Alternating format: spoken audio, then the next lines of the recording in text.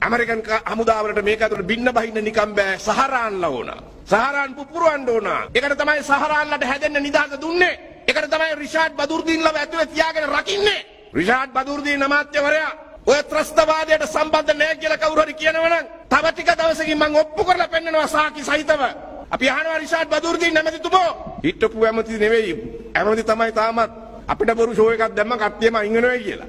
මම අහනවා රිෂාඩ් බදුර්දීන් මහත්තයෝ ඔය සහරාන්ලගේ ප්‍රහාරයට සතොස වාහන පාවිච්චි වුණේ නැද්ද?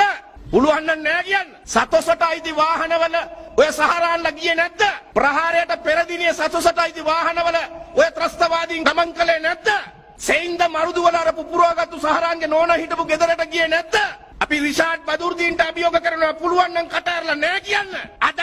අද නෑ කිව්වොත් මං හෙට ඔප්පු කරනවා. සතොස වාහන කොහමද සෙයින්ද මරුදු ගිහිල්ලා ඔය බෝම්බකාරයෝ ටික එක්ක කොළඹ ඉඳන් කොහමද රවුම් ගැහුවේ කියලා මං ඔප්පු කරලා පෙන්නනවා. රිෂාඩ් බදුර්දීන් බය නැතුව එහෙනම් කියන්න. නෑ සතොස වාහන පාවිච්චි වෙලා නෑ මේ ත්‍රස්තයන්. එහෙම ඔප්පු කරොත් මං ඉල්ලා අස්සෙනවා පාර්ලිමේන්තු මන්ත්‍රීකමින්ම ඉල්ලා අස්සෙනවා කියලා පුළුවන් නම් කියන්න. කිව්වා ගමන් මං ඔප්පු කරනවා.